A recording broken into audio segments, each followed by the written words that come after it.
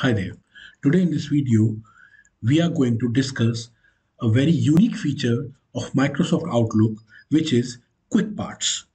Quick Parts is a pre-formatted text or gallery which you can use with a single click. Quick Parts feature introduced by Microsoft Outlook in 2007. You can include text, images, table and formatting. They are only available in your computer. They are not automatically synced. So let's understand how it works. You can use an existing part of your content available in your inbox or you can create your own matter to use in quick parts.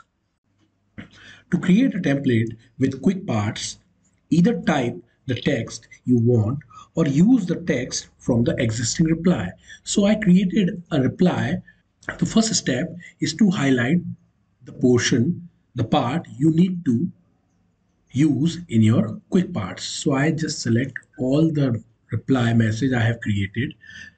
Now go to the quick parts. Now go to the insert and then click on quick parts. Save selection to the quick part gallery. Click on it create new building block dialog box appears. So you have to name it. So I name hello. Keep rest of the things as it is. Now simply click OK. Now I will I will show you how it works. So I used to delete this reply. Now again go to quick parts and here I have saved in the name of hello. So click on it and see all your reply automatically appears in just a click.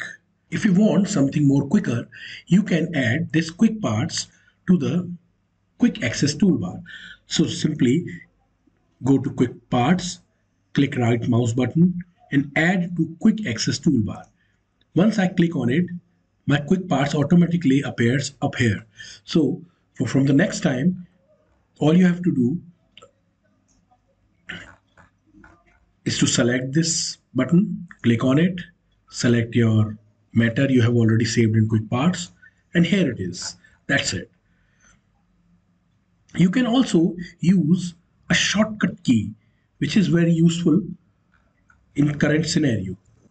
Enter the name you have saved for that quick part. I save hello and enter F3 here.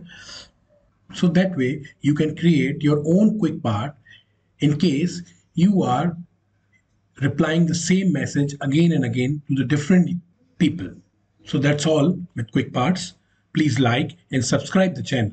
Thanks for watching.